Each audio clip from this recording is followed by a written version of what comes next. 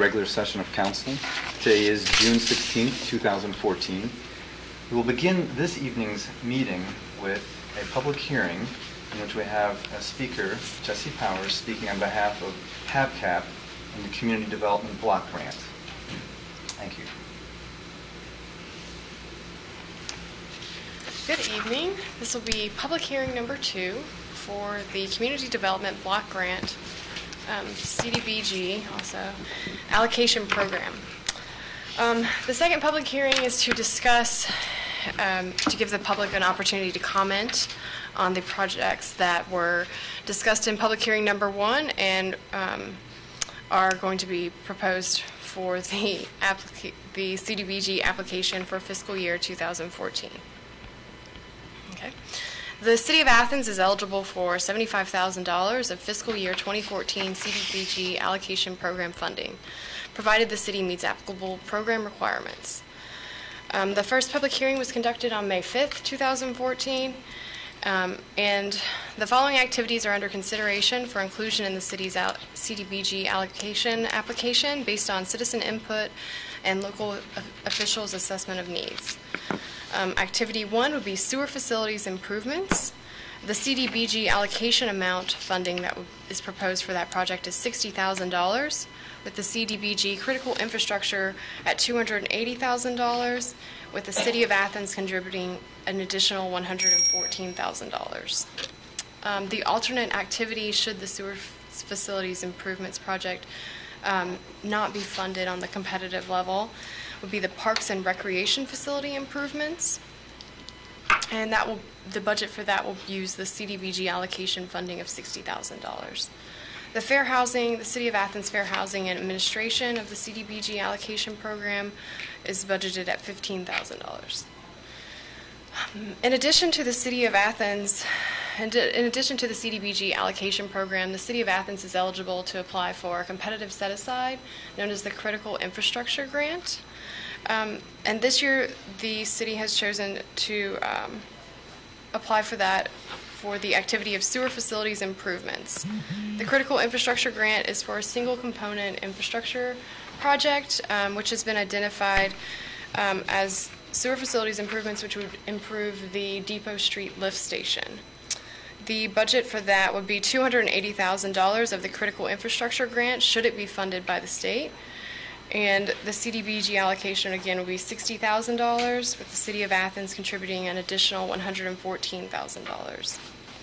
The Fair Housing and Administration for the City of Athens Critical Infrastructure Grant would be $20,000.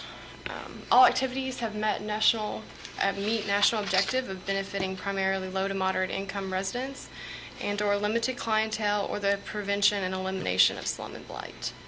Are there any questions or comments? Yes. Just a comment that I think we had noted previously that on the lift station, what that does is, um, it's, that particular lift sta- station services most of the west side and also the hospital and um, Ohio University also. So it's, it's important for our Right. Effective functioning of, for the city. Yes, it will definitely be benefiting two um, majority low to moderate income block groups within the city, um, as well as the infrastructure itself is considered blighted at its current condition. Okay. Are there other Thank- questions or comments from council members or the city administration, as well as the public? We've discussed this, um, and, um, you know, we're hopeful on that critical infrastructure, and then we'll use our CDBG as matching.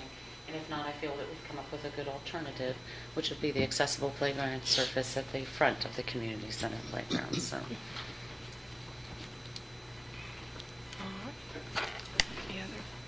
Well, and thank, thanks to HAPCAP for helping coordinate or, you know, all of this. and- It's our pleasure.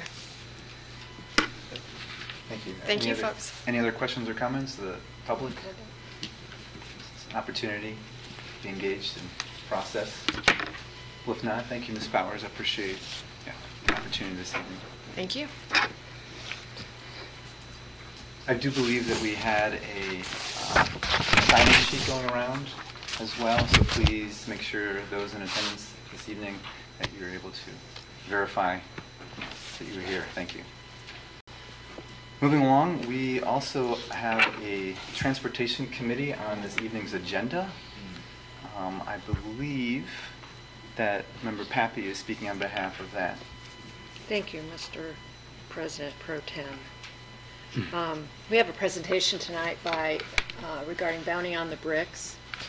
And um, before we have you come up, you know, you need to sign in and, and all that kind of thing. But before you come up, um, want to say congratulations. It sounds like you've sold out your tickets for this year's event already. You have, and so um, I just want to say that we're, we're moving into our second year of this event. It uh, was quite a success last year, it sounds like. And as you present this evening, I'm hoping that you can talk a little bit about um, the donation process and, and all that kind of thing, where the monies are going, how, what the breakdown is. You know, in the press here lately, there's a lot of uh, information out there about not-for-profits and how much goes to this and how much goes to that. So if you could talk a little bit about that tonight, that would be great. And then, um, you know, I just wanted to say um, that Athens is a very giving community, we're a very open community, and this Bounty on the Bricks um, fundraiser is uh, for food insecurity. And um, I just also wanted to say that I think there, there just needs to be some sensitivity around the issue regarding, here we're having this wonderful organized event on Court Street, and um, yet there are still a lot of people in our community who are food insecure. And I just would like to hear a little bit more about the philosophy and, and um, just so it's out there for the community, a thing to discuss. So are you both, Susan and Cheryl, you both coming up, or I think Susan's one, Susan's going to do this? Thanks, Susan. she's done all that. So just introduce yourself and tell us about Bounty on the Bricks for the second year. Well, thank you. Uh, my name's Susan Urano. I'm the executive director of the Athens Foundation. And last winter, year and a half ago, Cheryl Sylvester came to us and said, We have this kooky idea that we could do an event like they do in other parts around the country. Um, uh, and we said we would love to help with that. So last year, um, several of you were at the event. Um, it was a sold out event last year. We raised $75,000, um, 25000 from the event itself, and then we got matching grants from the Sisters of St. Joseph Charitable Fund and the Osteopathic Heritage Foundation of Nelsonville, and they are on board to do that again this year. Um, we take no administrative fee from this event, so the whole $75,000 went back to 18 food pantries in the southeastern Ohio region. Um, and they purchased things like commercial refrigerators, walk in freezers, helped fix their trucks, um, things that they needed to be able to deal with fresh and frozen food, which they're not as equipped to handle. Uh, this year, um, before our ordinances were passed. Uh, the event sold out in four days. We have about 50 people on the wait list. Um, we're limited, I think, by the um, chef's ability to prepare decent food. Um, right, without having a heart attack. Um, the event is a fundraiser, and I've like, why are you having an event where you're charging seventy-five dollars and a lot of people can't come? My answer is it's a fundraiser. You know, without this kind of um, high ticket price and matching funds, we would never have been able to put seventy-five thousand dollars back into um, the food pantries throughout the region. Um, we're even playing around with ideas of how to expand uh, the event in creative ways next year. I don't know if we'll be able to do that or not. Um, our expenses are fairly low and they're covered by sponsors primarily. Um, we have about $12,000 in sponsors um, that help cover the cost of the event. Um, we pay for the food, everything else is pretty much donated, so that's how we're able to do it. So Susan, um, you said, is, are the food pantries in Athens County or are they regional? The regional. So we are s- expanding out of Athens County? Right, because the Sisters of St. Joseph supports three counties in southeastern Ohio, and the Osteopathic Heritage Foundation, I think, supports seven. So we have encompassed encompassed their county regions as well. Okay. Mm-hmm. That was one question that I had been hearing from people is that, you know, we tend to be a little, our economic diversity is a little bit better in this county. and Right, What yeah. about helping some of the surroundings? So that answers that Yeah, question. yeah. A question, if I may, that I have, you know, seventy-five thousand dollars is, is huge. That was, uh, that you achieved last year, and then, so it was a seventy-five thousand dollar match that came from? No, it was, we raised 25,000, From the sales. and then two Gotcha. more $25,000 matches, Okay. yeah.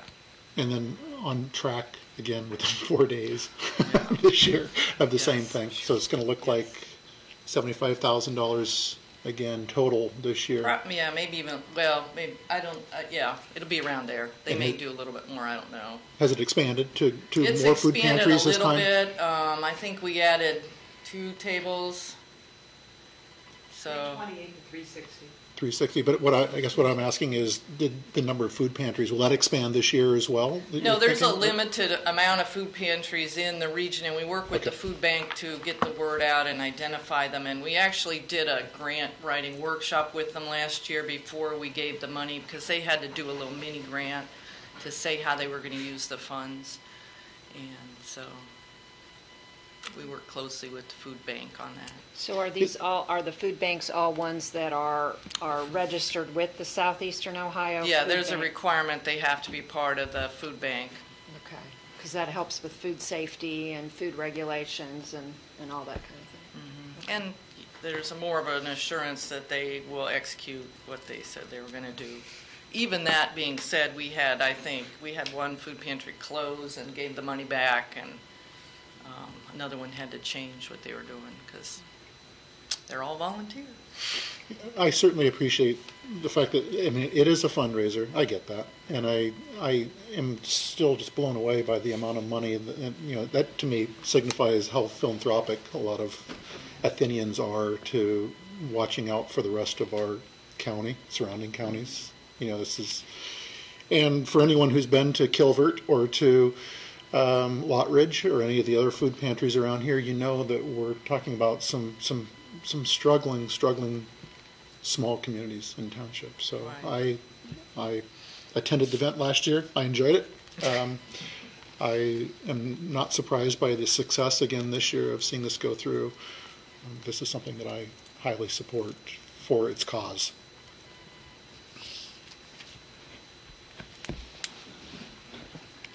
I, uh, I too uh, applaud the efforts and I'm excited that it's taking place again. The, the photo was great. It's nice to see the, the, and hear the support in the community.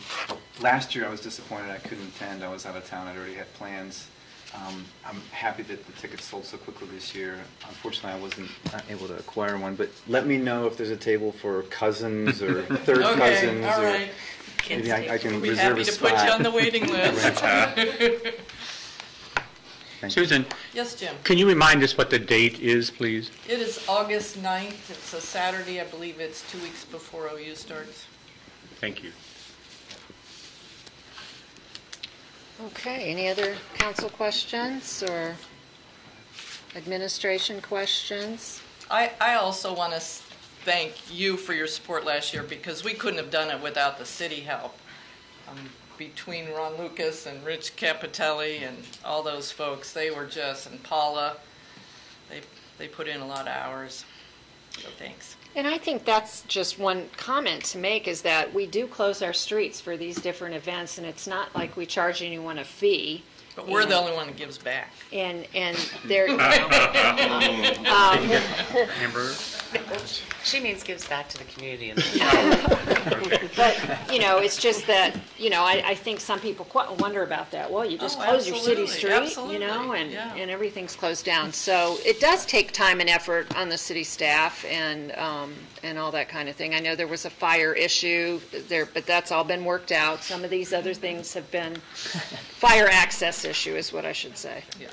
Um, uh, Just the point of order being that it, um, August 9th is a date, and they'll need the suspension and what have you. They they technically need to get their F permit in 30 days in advance of that, event, so perhaps by the Monday, July 7th. So that's just really under the wire. Mm-hmm. It's been sitting on Paula's desk for a while. Right.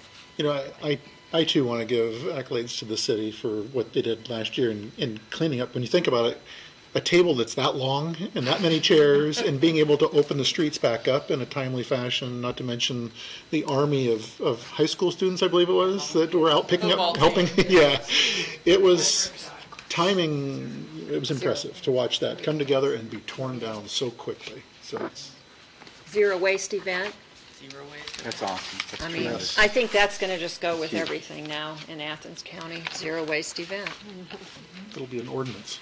They would like it to. Okay, any other questions from folks? We know about the suspension later on. Thank you, Susan.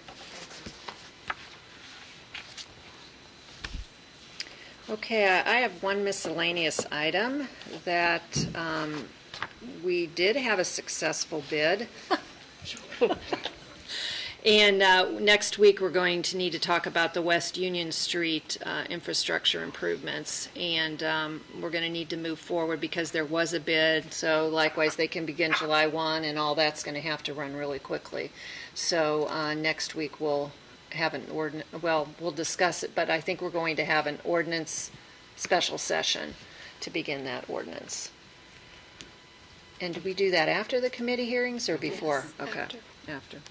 So we will have a special session for Union Street ordinance readings. Anything else on that, Paula? Um, No, that's correct. Um, You know, it came in, uh, but under the engineer's estimate, uh, 10%, so that we're going to be able to award it. But we just need a few more dollars from the different funds. We'll be working with the auditor's office to determine that. Um, But, you know, like what happened with Richland Avenue, with no bids, even with this case, we want to get this built. And and they- the earliest we can do it is July 1, so we're asking for, we can have the, everything in place so that we can award on July 1st. And I think everyone understands that in terms of a special circumstance, when you have outside bidders coming in, you know, we can move forward with the ordinances as they need to go, because we are in a tight line schedule here in Athens when it comes to our construction. So, okay. Go ahead. Thank you. And along those lines, if I recall correctly, this is a project that we, the West Union Street project, we had looked at considering doing last year, mm-hmm. but in consideration of the efforts to fix the bridge and desire not to tie up all of our streets, we pushed it back a year. Is that correct? Correct. And we may, I don't know if we'll be ready next Monday, but we, we are looking at how we reattack Richland, and whether it be, you know, um, a rebid of components that we do here this fall, and then just have a longer period of time, so we'll be bringing that back too. so. Thank you. There's been a lot of discussion about that. Okay. Thank you. That's it for transportation. Thank you. Thank you, Mayor Pappy. So moving into our regular session, our regular, regular session of City Council, I am acting President Pro Tem. President Sands is our acting mayor. Uh, I am able to vote on the uh, issues presented this evening. We have uh, establishing a quorum of six members present this evening. Uh, Member Fahl is not here. Disposition of minutes. Is there a motion to accept this evening's uh, minutes of the regular session held June 2nd, 2014? Mr. President, I so move. Second? We have a motion and a second to accept the minutes.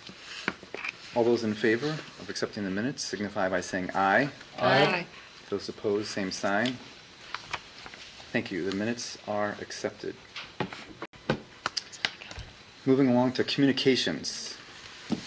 Um, Are there any reports or communications within uh, elected officials?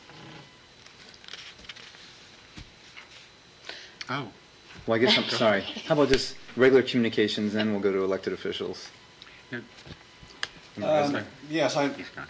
uh, Reisner. Uh, I- I'm sorry. I think all of us have been getting some emails from constituents and other people concerning the uh, reports that came out in the Athens Messenger and the Columbus Dispatch about uh, public records and people trying to get them and having a hard time. And I was wondering if the administration or anyone would like to speak to that, or someone could remind us exactly what people are supposed to do when confronted with a request for a public record. Thank you, Member Reisner. Any members of, If you're asking the administration, I would ask, um, it- um, I have read that. I'm still um, looking into the um, issues and interactions that may have occurred with the mayor's office. I would ask that you would direct reporters to me, and I'll be responding. And yes, indeed, we do all have public record policies, um, and I have one for the mayor's office we can um, supply. And I believe uh, Law Director Pat Lang had a few statements. Yeah, I mean, as to what you should do when a public record is requested, you should uh, give it over. You should produce the record. is that complicated? Well, there, there are a couple of threshold questions in any public records request, and the Service Safety Director is absolutely right that uh, you know, there's not one city-wide policy on this. E- Every department is responsible for maintaining its own public records. Uh, each department has its own public records policy and its own person designated within that office to be the person responsible for dealing with a public records request. So the first uh, question uh, is, you know, obviously not every record uh, that exists uh, in government here or elsewhere qualifies as a public record for purposes of the public record statute. So the first question is, is what has been requested a public record? Uh, if it is, then there's a, a second uh, level of analysis which involves there are a few narrowly tailored exceptions under Ohio law for um, uh, for non-disclosure, so which a city could say, uh, because of uh, one of these exceptions, we are not going to produce the record that has been requested. However, in the event that a city or any other government entity does that, you have a responsibility to explain to the requestor what exception you're claiming and cite the legal authority for that. Um, that said, but the, by and large, the vast majority of public records requests uh, are for public records and uh, for which there is no exception. So the best policy uh, for this, and this is certainly the, the policy that we followed uh, in my office and that I would, would uh, encourage uh, other offices to follow as well, is that you, number one, acknowledge right up front receipt of that request. So you say, I, I received your request, and then give that person some idea of how much time it's going to take to respond to that. Now, sometimes it may be something you can go and get immediately and produce the document. If that's the case, you should do that. Um, if it's a, a larger request or if it's for a document that may not be housed in the office or that you may have to go uh, into the computer system to retrieve, uh, it may take some number of hours or, or days uh, sometimes to do that. Uh, but the important thing is to you should be constantly communicating with uh, whatever person made that request so that they have some idea of uh, what the expectation is going to be as to when they can receive the information that they requested. Um, a couple of uh, things which I'd, I'd read, and I don't remember whether this was in the messenger or in the dispatch, uh, or, or whether it was even dealing with the city, but I was one of the things that you, you absolutely cannot do is, is ask for the identity of the person making the request. Uh, there, there's no uh, requirement under law that, uh, that a person identify themselves to request a public record. Um, there was also a something that I had read uh, alluding to the fact that someone was asked to fill out a form. Uh, that is also something that is not required uh, under the Act. So if, anyone can walk in off the street and make a verbal request, and you know that is that is a valid public records request under Ohio law. So that's just kind of the the brief overview of that, and in light of uh, some of the things which. Uh, uh, which have, have been reported upon. I'll, I'll be directing a, a memo to all city departments, uh, basically along those lines, and going into a little more detail as to proper ways to handle public records requests as those come in. So, thank you. Auditor Hecht? I was just going to comment that none of those requests came to my office. Um, we handle public records requests weekly, pretty much. Um, and as Law Director Lang said, the very vast majority of what we deal with is public record. And I would say, particularly in other offices, um, in our office, income tax information is not public record at all. And there are severe fines, personal fines, for people in my office who violate that.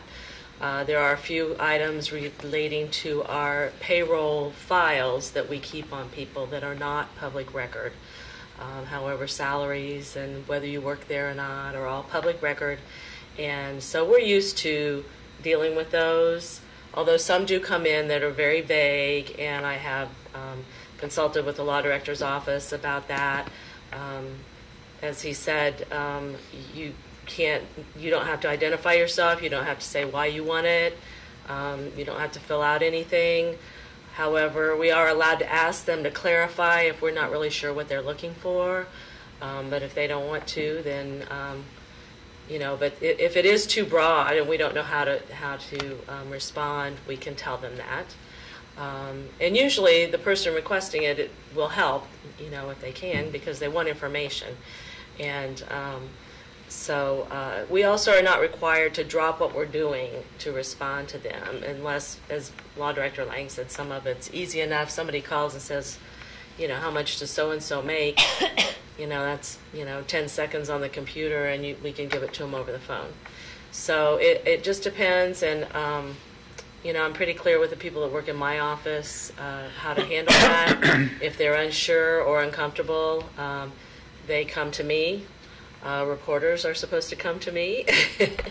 um, and so um, I just think that there are some offices that don't deal with them probably as often as we do, and it makes it a little bit hard. And um, so I was a, a little bit surprised at that because um, I hear about this at every conference I go to. It's it's uh, it's a very big deal to to you know work with people for that. And that's, and the auditor's office, and my, just having worked uh, with with Kathy for a number of years on this, has been excellent in the way that they process uh, their records, or their public records requests. I would also say that there is a, an obligation on the part of the requestor to at least state with, with reasonable um, sufficiency what, the- what exactly that that person's asking for. So if, if it is too vague or too broad, then the appropriate response from the governmental agency is to say, you know, I, we don't understand exactly what you're asking for, can you be more specific? And, and in, most cases, uh, people are, are more than willing to, to try to explain what it is they're after. And, and uh, oftentimes, the other thing that you'll run into is folks that are uh, requesting information as opposed to a record. Uh, so, you know, again, Ohio law is clear that we that we have an obligation to produce a public record. So that's which is not the same thing necessarily as someone coming in and saying, uh, you know, and requesting a piece of information. Um, if they can't uh, identify a certain kind of document or record that is kept, then there's not a, uh, you know, for instance, if they just come in and ask you a question, um, you know, there's not necessarily an obligation on the part of the person in that office to, to answer that question or to uh, provide the information if it doesn't exist somewhere as a as a record. So. Um, But overall, it- it- again, just in my experience during the the, uh, seven years that, uh, six-plus years that I've been here, uh, most of the departments that I've worked with that have brought me public records requests uh, for, to ask for, for advice on how to handle it have, have handled them uh, uh, appropriately, uh, overwhelmingly so. Um, But obviously, that's not uh, apparently the case uh, at all times. Thank you, Law Director Lang. And, and thank you, Auditor Hecht. Member Reisner? I'm just wondering if this uh, kind of problem could be fixed just by more in-house training, something more broad than just, I'm, I'm sure the memo will be of, of help, at least to the department heads, but getting it trickled down to the department. Well, in Ohio law actually requires uh, training by all elected officials uh, to send someone from their office. So the person in my office who's designated as the point person, you know, has to go to a training from the uh, Attorney General's office. There's a Right. certification process. Um, Well, I'm, thi- I'm thinking more of, say, um, um, the recreation department. Okay, you have many employees. Uh, you don't know who might be at the front desk when someone comes in and requests something. Uh, they're not sure, and they're not sure. They don't know who to turn to. Uh, what what do they do? And that could cause confusion. It could, could create the impression that they're hedging, that they're trying to not answer the questions, not not give you the information. So. That's an outstanding point, is that, again, while one person is designated uh, to do that, especially if you're in a larger department or, or have people that are staffing the front desk that don't often deal with records requests, uh, you know, to them, they might just think, well, this isn't my problem, so they just ignore it or, or pass it off to someone else. So there probably should be some information out there in all the departments about, hey, if you get a request for a record, this is the point person that you direct that request toward. Exactly. That's an excellent point. Yeah. Unfortunately, my understanding is this hasn't been an issue in Athens. That's my understanding, correct? No. No, it is No, an it was issue. an issue in Athens. Uh, Yes, that was part of the dispatch article that went out across the state. Kathy, I appreciated that you say that you post this information, and I appreciated that in your follow-up to council members. I think that's important for the public to see those. We're supposed to. I think, Pat, I don't know if you're the It's one that posted sent outside around my that office as template, yeah. but, uh, That sent around, I think most of us use that, we could change it a little bit, but uh, each department head was to sign off on that. We're required to put a poster up uh, saying that we have our public records policy available. And um, yeah, I think most offices have them. Um, But as you said, if the person who happens to be the first person somebody sees when they walk in the door, um, and they haven't been there very long, or, you know, uh, there aren't very many public records requests uh, posed to that office, uh, they might be thrown a little bit. Um, I'd say the most important thing that I would get out there to everybody in every department is don't ignore them. If you don't know what to do, go to your supervisor or someone. Uh, just don't ignore them. It's a fire drill. I mean, you Yeah, need really, to get help. yeah. You need, you need to find somebody to help you. Just quickly, um, Mayor Sam. talking about street closings, um, Boogie on the Bricks is uh, happening Saturday coming up, uh, 21st, and street will be closed two blocks, or just one? Real quick. Three. They have the two stages, so it's Union all the way to State. I'm sorry, Yeah. I had to think a moment. Yeah, so it's a fairly lar- large event um, associated with Brew Week. No? No, they separated, they divorced, but Oh, they've got okay. their own thing. Okay. They're divorced. Sorry, they separated. Okay, they're Thank you. separated, okay. Uh, Other communications from council members? Um, I have a couple. Uh, One is that the Commission on Disabilities is meeting this Wednesday at 5:30 at the community center, which is where we, we usually meet, uh, and that's open to the public for anyone to come and attend those meetings. As well, and this is related, the, there's an ad hoc committee uh, that was put together to look at the emergency preparedness plan for individuals living with disabilities, which falls under the commission, and that group is meeting uh, June 23rd at 1 PM here in the city building, and I really encourage individuals to attend that one because that's that's a rather large project to where I've mentioned before, where we have gotten involvement from HAPCAP because under HAPCAP, as some of you are familiar, there's Meals and Wheels, there are there's Athens on Demand, there's the Go Bus, there's a lot of entities which become integral pieces to an effective emergency preparedness plan uh, as well as having individuals from Beacon School involved.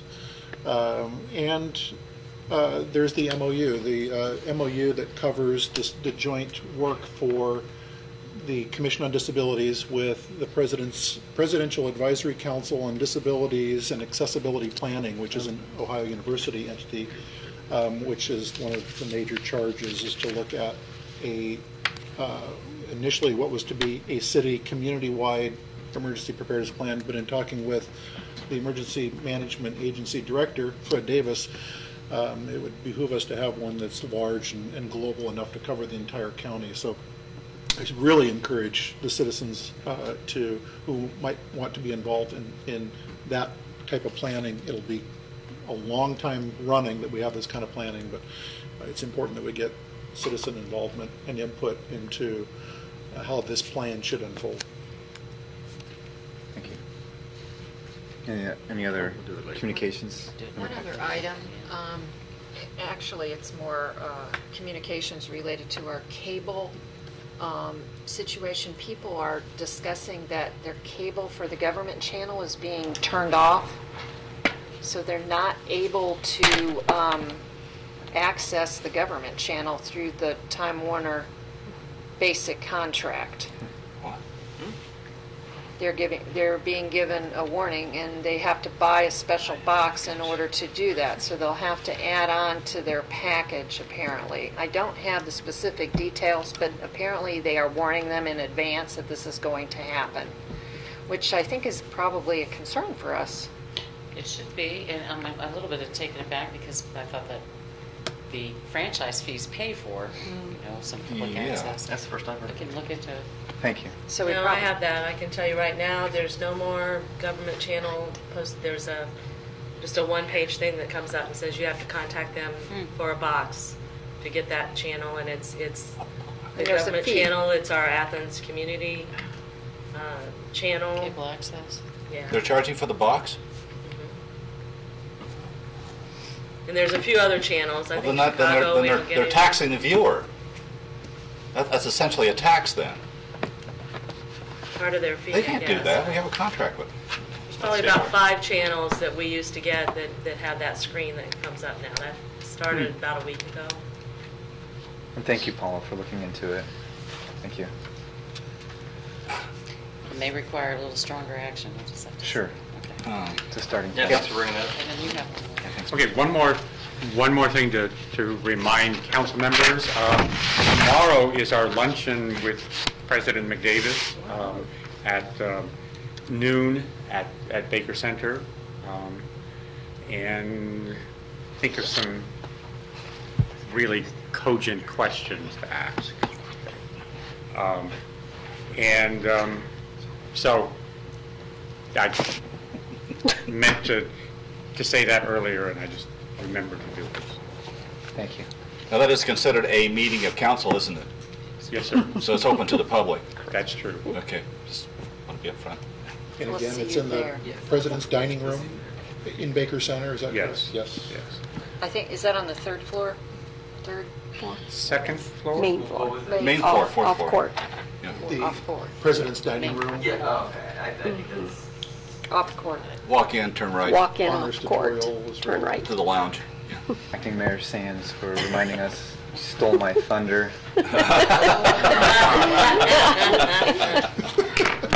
I- What what am I worth? Are there any other reports and communications from other elected officials? Anything else we haven't covered? President Pro Tem Butler, I would like to share the front page of today's Athens News. Was this today? Um, Yes. Yes, it's Monday. Um, For a bit of great news, um, that Athens is one of the 16 semifinalists in a contest called the Road to Wellville. And this just highlights the great work that many community agencies are doing around Athens to promote healthy choices and healthy lifestyles. And so I just came from a meeting at the community center um, to move forward in this process um, on behalf of the Healthy Communities Coalition and Live Healthy Appalachia. And, um, you know, this speaks to some of the work that we are doing as far as our, our engineer's office, making sure that we're integrating pedestrian ways and bikeways into any, ti- anytime we do a new streetscape project, um, you know, looking forward into our, our parks and, and rec master plan. So, you know, we're, we're doing good things and we're getting attention for it. And so hopefully this will enable us to do even more good things for the health of our community and the health of our region. Great. Thank you, Member Cochran. Yeah, over the last week, uh, Member Patterson and I were involved with a conference on the local food movement, and I believe uh, Deputy Auditor, sorry, Deputy Service Safety Director Ron Lucas was uh, uh, present as well.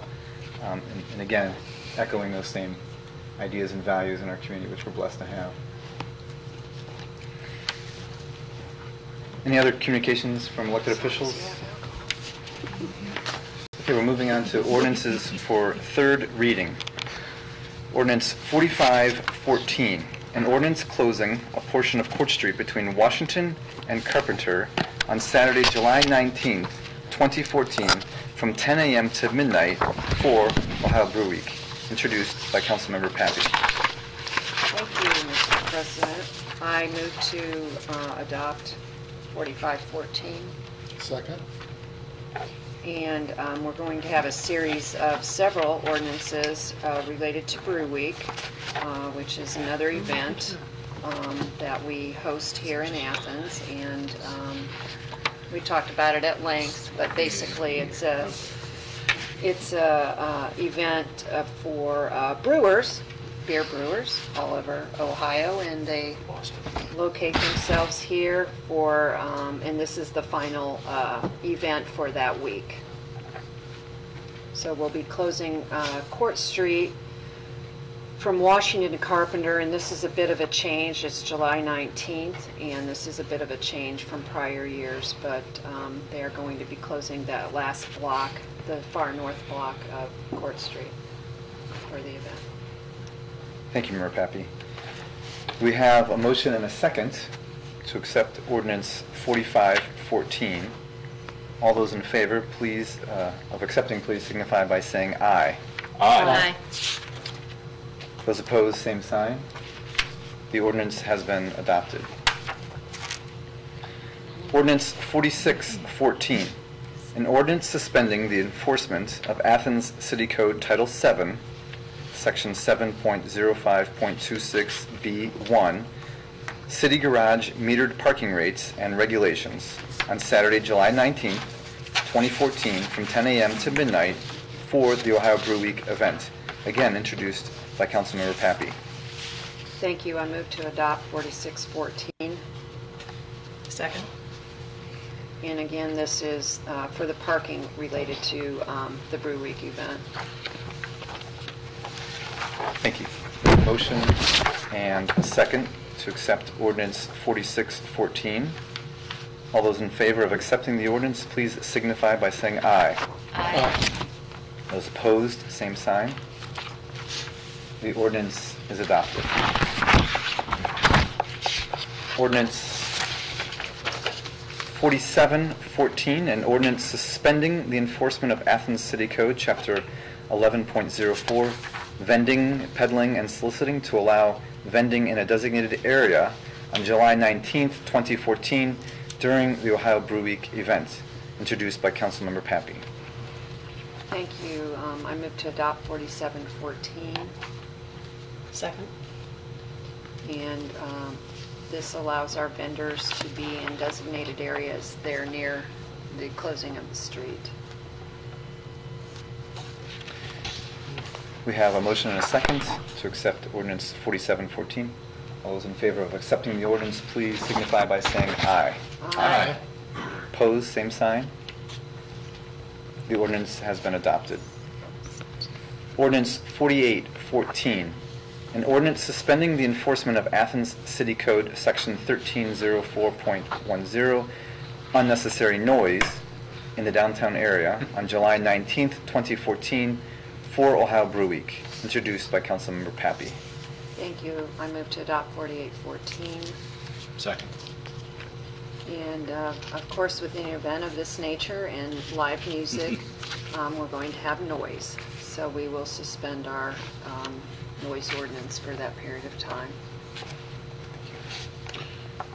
Comments?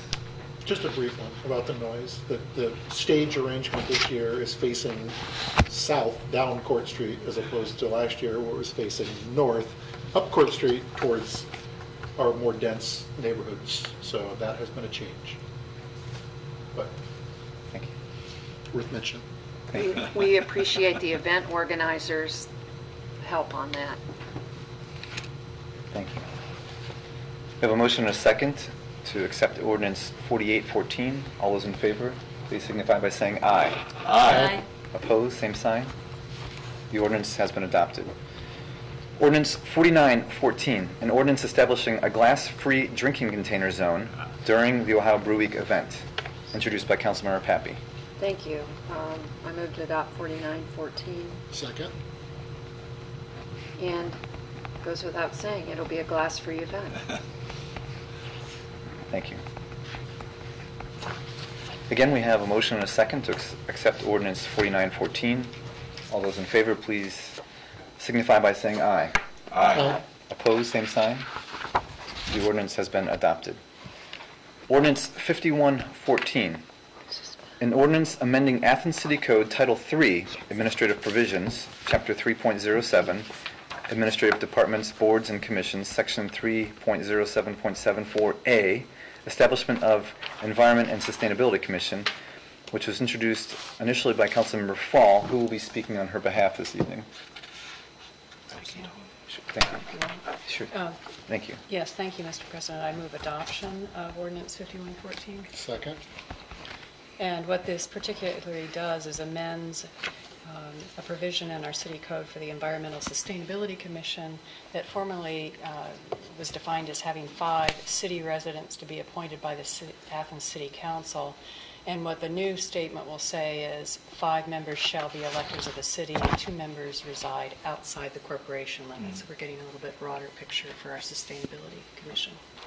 Thank you, Member Knisely, for assisting us there. Any questions or comments on the ordinance? We have a motion and a second to accept ordinance 5114. All those in favor, please signify by saying aye. Aye. Opposed, same sign. The ordinance has been adopted. We're now moving on to ordinances for first reading. Ordinance 5414, an ordinance to increase the city income tax by 10 hundredths percent, 0.10% per annum for a period of 20 years, and authorizing the question of the increase to be placed on the ballot at the next general election to be held on November 4th, 2014, and declaring an emergency. Uh, Introduced initially by all members of council, but I believe Councilmember Knisely, correct, will be speaking this evening. I'll start with some comments. Um, Just a few minutes of uh, discussion, since it is such an important uh, ordinance that we're moving forward tonight.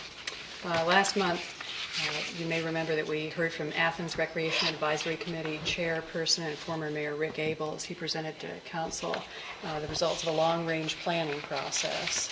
Um, And we'd also um, had a lot of citizens participate in a public meeting at the community center, um, offering their input and re- um, comments on this long-range plan.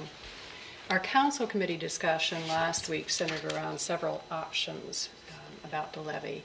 And what I think became clear to the, to us as council members and city administration and the Recreation Advisory Committee um, is the following.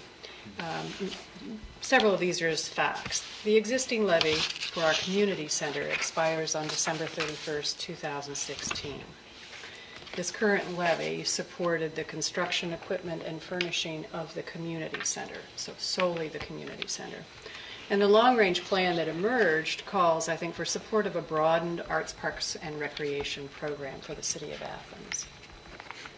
So what council is presenting tonight is an ordinance for one-tenth of 1% income tax levy to support this broader program. And that will encompass expenses associated with the construction equipment and furnishings of a swimming pool, uh, which would replace our 1972 uh, version of the pool that we have right now. Uh, It would also provide for accessibility to all pr- playgrounds, trails, and facilities, provide for maintenance, operation, and staffing of existing and new arts, parks, and recreation facilities and grounds in- in the city of Athens. So this ordinance calls for a new levy to begin on January 1st, 2016, for a period of 20 years. Um, This would allow, as did our most recent street levy, one year where both the current levy for the community center and the new levy for the arts, parks, and recreation would be levied to collect the income tax. However, there has been some discussion that if we do end up paying off the costs of the old levy, we could actually end that one uh, prior to its ending date. So what's that mean for citizens and what they're thinking about as they plan for expenses? Uh, The one-tenth of 1% would be uh, $30 income tax for a person reporting $30,000 worth of income um, on their city income tax. And then passage of this ordinance and resolution, which begins, uh, and the resolution would actually begin next week. This is our ordinance that we're reading for the first time tonight would allow council to submit language to the Athens County Board of Elections by August 6th. Once submitted to the Board of Elections, the proposal can be placed on the fall ballot for citizens to decide on the Arts, Parks, and Recreation levy. And I think I can speak on behalf of some of the council members, and I'm sure there'll be other comments that will be added, but um, we're presenting this after consideration of the long-range plans and also the recommendations of the Recreation Advisory Committee. Thank you, Member Knisely. Comments? It's my understanding that there's been a suggestion um, by former Mayor Abel to include the language property acquisition. And that's primarily related to trails. I don't know if you wanted to speak to that. Um, Thank you, Paula, and and thank you, uh, former Mayor Abel. First off, I want to thank uh, council members for getting this forward, and at least something that the advisory board has been talking about for a year and a half to two years that I've been on the, on the board. Uh, So I do want to, on behalf of all of them, thank you. I am concerned, uh, and the reason we had put in our recommendation other uh, projects as approved by ordinance uh, to be in there was it was sort of a catch-all. And I know sometimes you don't like to go to the voters with catch-alls, but part of our, our concern has been that we're, there were a number of things when we went through the plan that if we had the money, we would like to do at some point. during the term of, of this uh, tax. And the, the law director and auditor can tell me if some of these would be included, but how long have we talked about the uh, old airport hangar that sits on East State Street that is our maintenance facility? Uh, And we probably needed better maintenance facility for the Arts, Parks, and Recreation. Uh, If that's construction of a building, then we, we limited it to a swimming pool. What are we going to do with where the swimming pool was once we build a new one? Uh, Are we going to build something there? Uh, What's going to happen? Uh, Last uh, year, uh, council approved, and I believe expended some money uh, on the Guande Preserve and the Dowler Park, and we were, got the idea of trying to attach that to Camp Rotan, maybe build some trails. We can accept, build accessibility of our, as I interpreted, our existing trails and our existing playgrounds and everything, but if we build a shelter house at Sells Park, which was in the plan as a potential, how, how can we do that under this, uh, you know, these, this, this source of funds? Uh, Also, I've seen a whole plan from the soccer people about a facility uh, that's there uh, that, you know, they would like to see the city, uh, you know, move toward. Uh, So those are just some of the things that I, I, we see on the advisory board of potential uh, ones, and that's just the ones we know of today. If, in 20 years, I'm sure there's going to be something that the kids of the community and the adults are going to want that we've never even heard of yet. Uh, And so that's why I ask for some, the flexibility in there. I know it makes it a little bit harder to sell, you know, in some ways, but the advisory board is, is going to try to, you know, speak at different engagements, and I'm hoping all council members can, and we're, we're committed to seeing this, not just see the process end when you pass this, but when the voters pass it. Thank you, Mary. Any, any other questions or comments or thoughts on that? Any other council members? Well, I, I think from an advisory board, we asked for citizens to sit on an advisory board, and they've done a heck of a job with their master plan and the effort and time they put into that. Um, I think, you know, we should consider looking at the language in that, in those terms. Um, And, and I think if, if we can present to the voters out there um, the importance of livability and having flexibility when you're looking at a plan like that. Again, everything would have to be vetted. I mean, just because the soccer people wanted one thing doesn't mean the other people can't have what they want. I mean, this all goes through a process, and there's usually a committee, and there's lots of discussion. So, um, you know, I, I would suggest that there has been a lot of work on that, that that is a reasonable item that um, former, former Abel is suggesting in terms of the language. So, Thank you, Member Pat. Member Patterson. I just have a, a brief comment that I want to make, um, which has to do with, with, again, the advisory board um, and the work that has gone into this. I also want to acknowledge Dr. Neil James, who did a lot of the early survey work in 2012, 2013, if I'm not mistaken, um, in which, you know, and that, that I think gives some, some history to the scope of thought that has gone into this particular piece of legislation, which is community involvement. Um, You know, over 200 people asked to, to give their input as what they see are the important goals for our arts, parks, and recreation, which includes arts, parks, and recreation. So it's the, it's the entire package.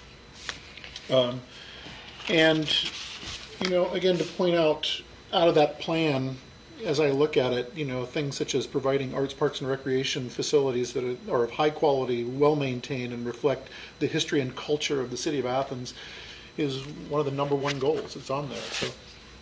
I, I also agree with flexibility, um, as former Mayor Rick Abel was suggesting, um, uh, with how this goes forward, um, but also not detracting from the language to where it becomes cumbersome um, when it's looked at. But I am highly in support of this moving forward, because I, again, looking at where th- I think sh- things should go and where I think the citizens believe or Arts, Parks, and Recreation be, should be moving forward in the future um, would reflect that in this particular levy. Thank you. And maybe it's more a legal question, is you want to say? Oh, well, no, I was just going to say, in section two, the last uh, phrase, it says, it- it talked about everything, and then it says, maintenance, operation, staffing of existing and new arts, parks, and recreation facilities and grounds in the city of Athens. So it almost seems to me that what the mayor was talking about is already in this ordinance. It And it I was covers likewise thinking perhaps that the phrase above it, I know there's some question, but the, the accessibility to all playgrounds, trails, and facilities. So Yeah. if there's a new piece, Right. then becomes part of all.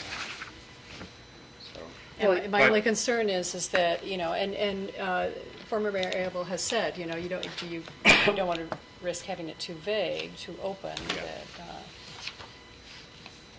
but I hear what you're saying, you don't want to box yourself in. So you're saying in Something your like that. interpretation of all, that would be current or future? Right. But, I Says mean, that. it's, Says it. it says new, it does in the next line down.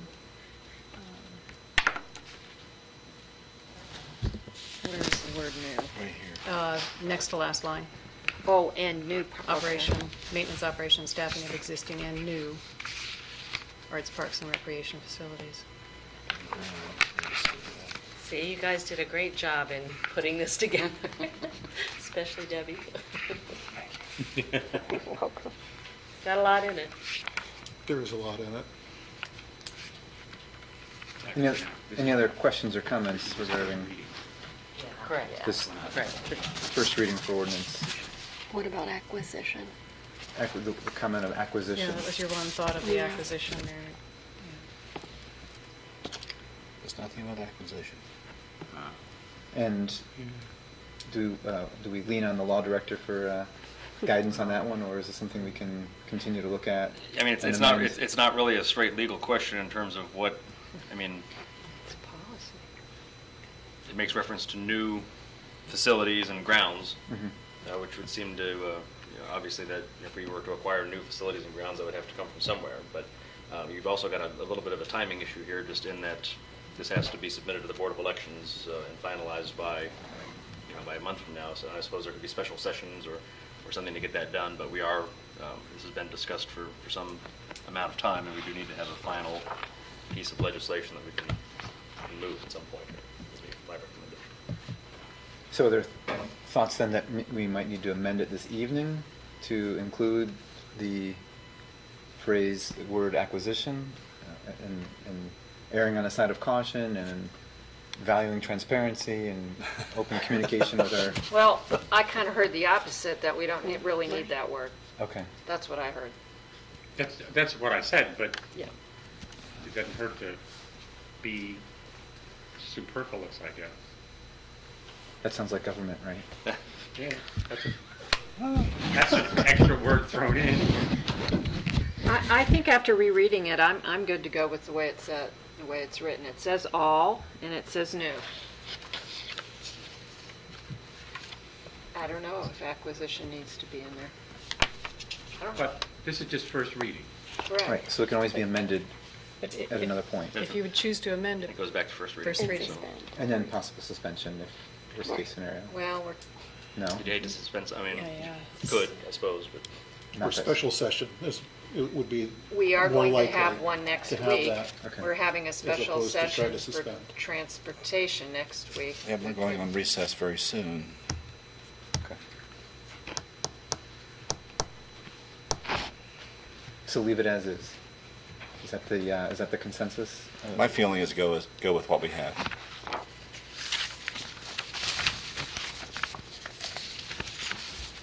Any other thoughts? Administration?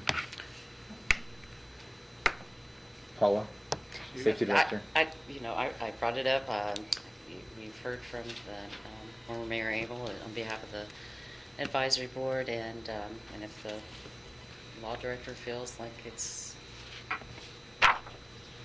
clear enough, covered, and good.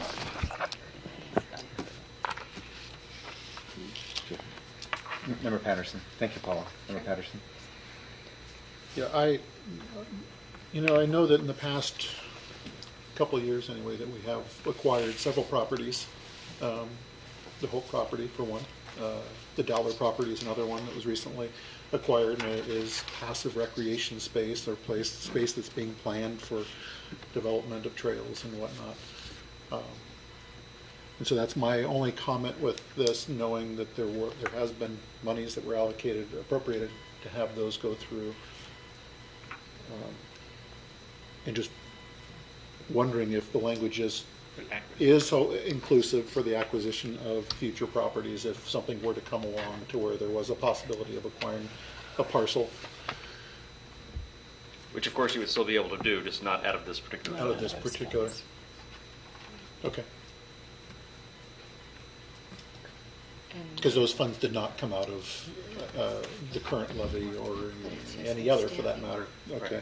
Point Yeah, I want to be clear, I, I'm not, well saying- I'm not saying that the current language allows for acquisition of new property out of this fund, I don't think it does. So if that is council's intent is to now add that as yet another, some thing that can be spent uh, as part of this, this levy, then I think that would require an amendment, but So, suggestion to err in covering all of our bases would be to include the word acquisition.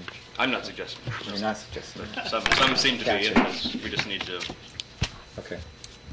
either we're asking to amend or we're not. Well, my so. question would be, where would we insert that? Um, Because, you know, at the first, the sentence regarding the swimming pool, it can't, it can't go there. So it would have to go in the last section, right? Including accessibility to all playgrounds, trails, and facilities, maintenance, operation, and staffing of existing and new arts, parks, and recreation facilities and grounds in the city of Athens. So if we want to insert um, property acquisition, it would, I believe it would need to be in that final section. And I guess when you're referring to new, you're referring to the new pool or new, when you say new, what are you referring to? It says, It says new arts, parks, and recreation facilities. And So- grounds. So that se- seems to cover almost everything, as far as I can tell, but. Well, it, it seems to me that it's referring to maintenance and operation and staffing, Of the not new. buying them. Then, just to be safe, put acquisition in there somewhere. Put s- semicolon, acquisition, semicolon, and go on with the rest of it. Well, that would require an amendment, it. Could. Right. which sets it back to first reading, Which is Which, which is Well, if right. do Which it which wouldn't lose any time as long as we did it now. You have to do it now. is there a motion for uh, anyone to? I move that we insert the phrase property acquisition to cover all bases um, in, in uh, the final section of section two. Thank you, Member Cochran. So inserting it before the word maintenance. So after accessibility to all play- playgrounds, trails, facilities, semicolon, acquisition, Acquisition, maintenance, maintenance, operation, operations, and and staffing. staffing. Can I- can I make a suggestion? I hate to Yes, take this, this.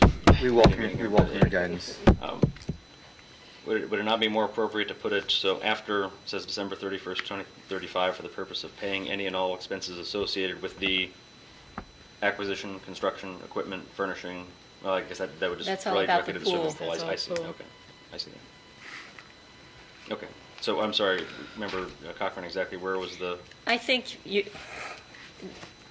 before maintenance would be the appropriate place. But we do need property acqui- acquisition, not just acquisition, because we're not talking about acquisition of a track hoe or acquisition of other, yeah, other facilities. We're talking about specifically the possibility of property acquisition. so the amendment is to insert property acquisition uh, directly before maintenance with another semicolon, is that correct? Right. Because that final semicolon, after the final semicolon, which is accessibility to, to all playgrounds, comma, trails, and facilities, as I'm reading it, it does mean that it's, it's specific to the maintenance, operations, and staffing of existing and new arts, parks, and mm-hmm. recreational facilities, but it's just the maintenance, operation, and staffing. Yeah, no, I think that's right. Is there a second on that? So we want a property acquisitions, and do we want a semicolon after that, or a comma? Because it has a very different meaning.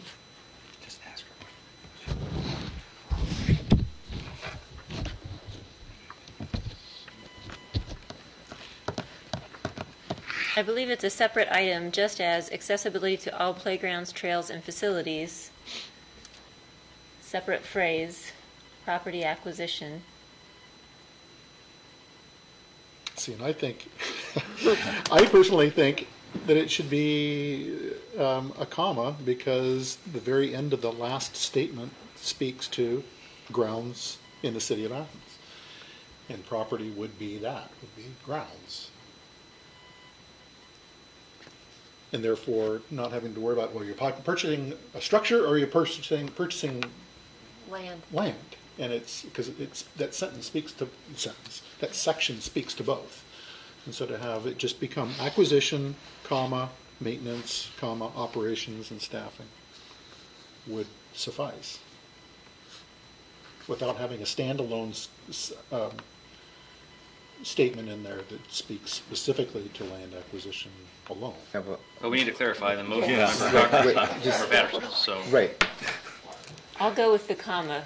So I move So no That- semicolon, but now comma. that we insert the phrase property acquisition, I don't believe we need an S, after the word facilities and the semicolon, and before the word maintain, maintenance, with a comma following. So you are saying property acquisition? Right. Okay. Is that a motion? We do have a motion. A second? Okay, we have a motion and a second to amend ordinance 5414, and I believe the clerk has the details. You get all that? And I believe we're all on the same page, that we all understand the motion here. Okay. All right, all those in favor of the amendment signify by by saying aye. Aye. Those opposed signify by same sign. Okay, all in favor. It has been amended, Uh-huh. It's amended.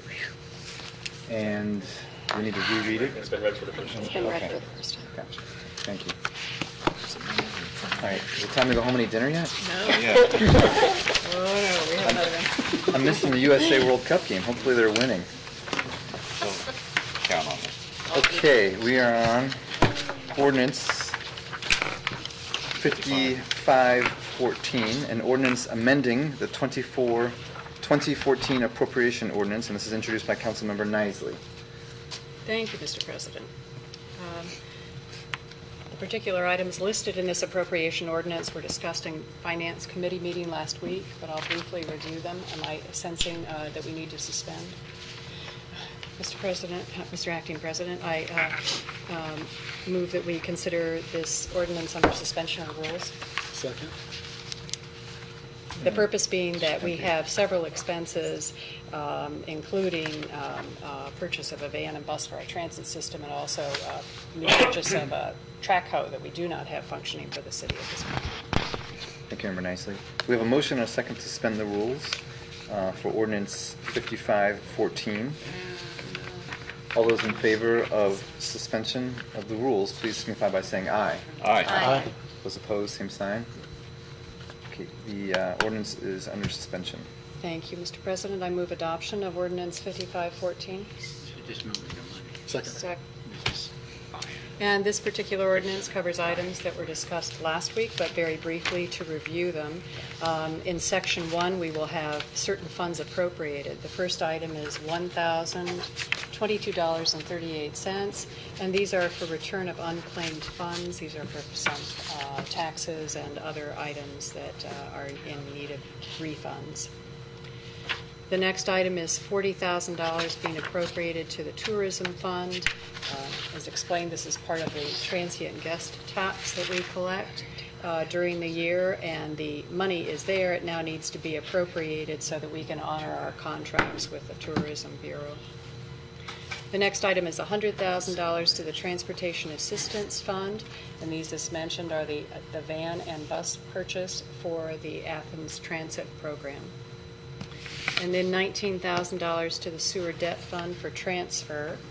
And you will see down in section number two then that we transfer that money once it's appropriated to the Sewer Maintenance Fund.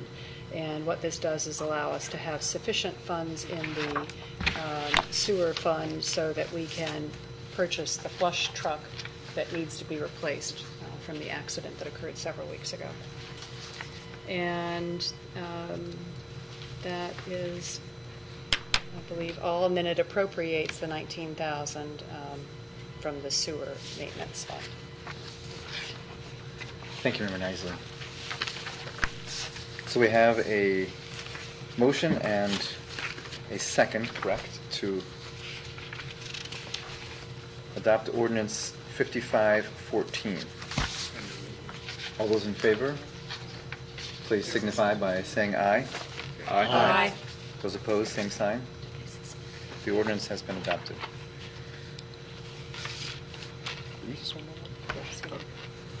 Ordinance 5614, an ordinance authorizing disposal of a damaged track hoe and flush truck in the Public Works Department, authorizing the Service Safety Director to replace the two vehicles and declaring an emergency, introduced by Councilmember Papai. Thank you, President Pro Tem. Um, I move to suspend 5614. Second. So as we just heard with the ordinance before, we're purchasing um, the new track hoe and the flush truck. Well, we need to dispose of the old ones uh, for trade-in or whatever is happening there. So we need to move forward with um, this replacement ordinance, or disposal ordinance. Thank you, Mayor Papai. May I have a motion and a second to suspend the rules of ordinance 5614? All those in favor of suspension, please signify by saying aye. Aye. Those opposed, same sign. The ordinance is under suspension.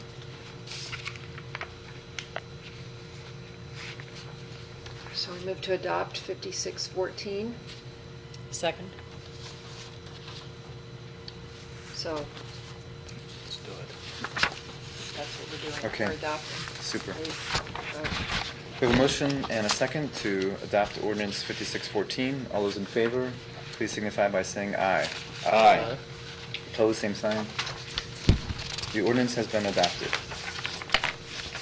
Ordinance 5714, an ordinance authorizing the mayor to execute the Ohio F- fiscal year 2014 Community Development Block Grant allocated allocation program residential anti-displacement and relocation assistance plan and declaring an emergency. This is introduced by Councilmember Reisner.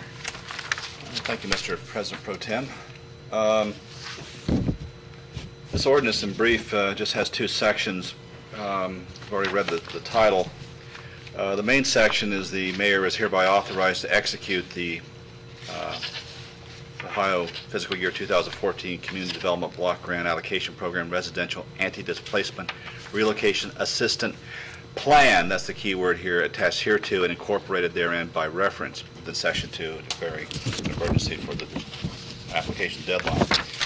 On the back of the ordinance is the actual plan itself, and it uh, uh, covers uh, a lot of detail, but the- essentially the uh, new plan has to be submitted because uh, the old ones have been amended and requires a new plan to be submitted. So the city of Athens will replace all occupied and vacant occupiable low and moderate income dwelling units demolished or converted to use other than low to moderate income housing as direct result of activities uh, assigned with funds, uh, assisted with funds provided under the Housing and Community Development Act of 1974 as amended and as described in 24 CFR 570.488. HUD regulations have extended this requirement to the home program as well. And then we have a list of what the actual plan will, will cover, and um, it goes on, so we can either read all of it, or we can Move to adopt. move to adopt, so. Member Question- Yes, I, I've been requesting suspension okay. because of the deadline It's June 20th. uh, for April. Well, first of all, then I will move that we suspend the rules. Second. Thank you. We have, a- um, and uh, and for the reasons stated by um, the executive branch. We have a motion and a second to suspend the rules for ordinance 57, 5714. Thank you.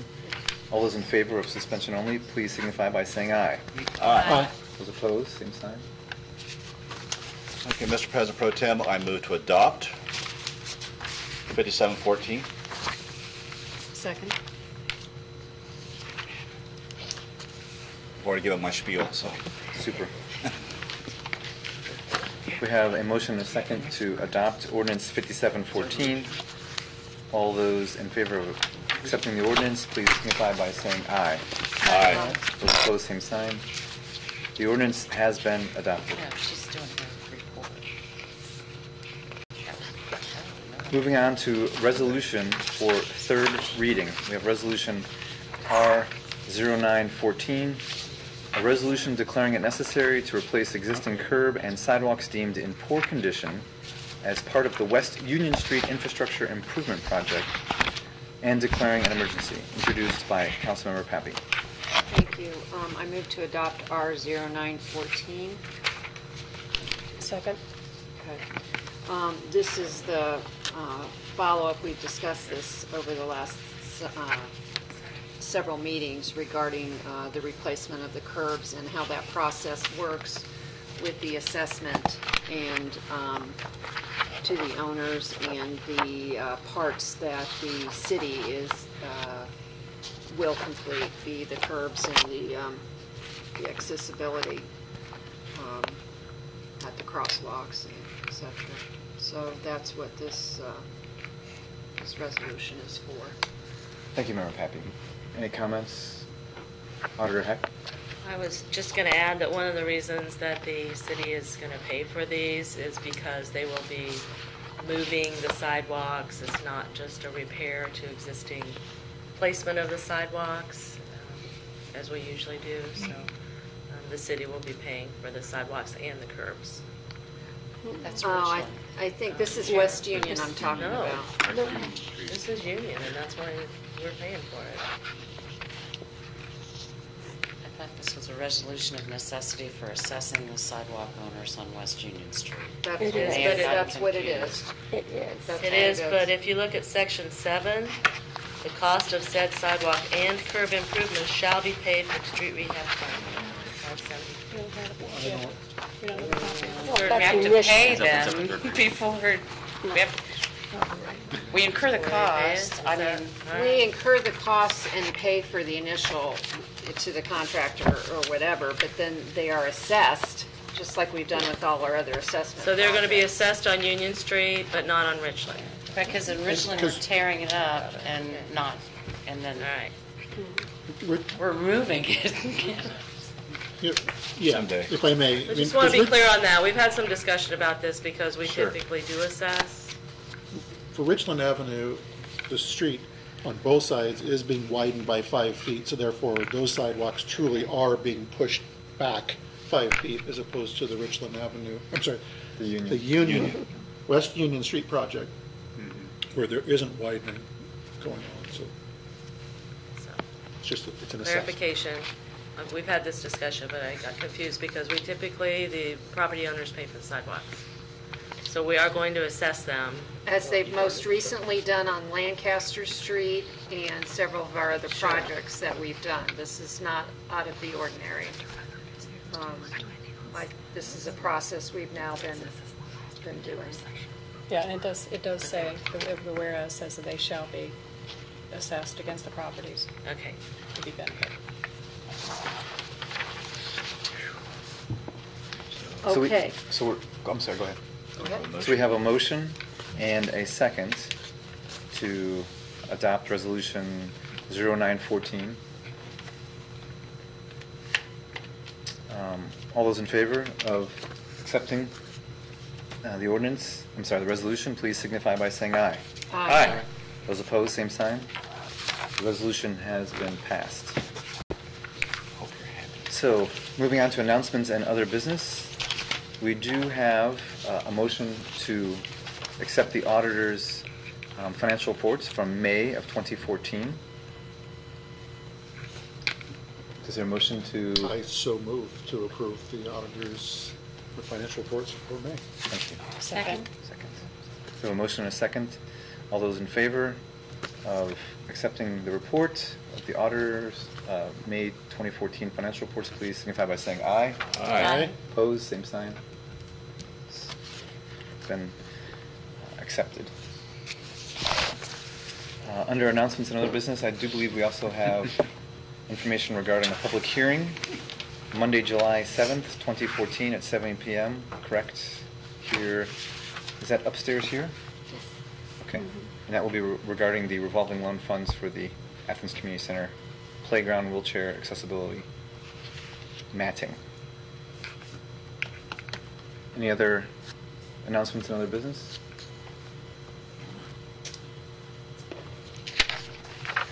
Opportunity for citizens to speak on legislative items and city services not covered on the agenda. Anyone in our audience wishing to speak this evening? Doesn't appear to be so. Thank you. Yes. Are there any committees wishing to meet next week? Finance Nice. and, finance and personnel. And then special session, and then should we do transportation? Transportation. Yes. So we have transportation, City- finance, City safety and services. city services, safety. Anyone else wishing to schedule a meeting, please contact the clerk. Otherwise, we are adjourned at or around the time of 8:28 PM. Thank you and have a good evening.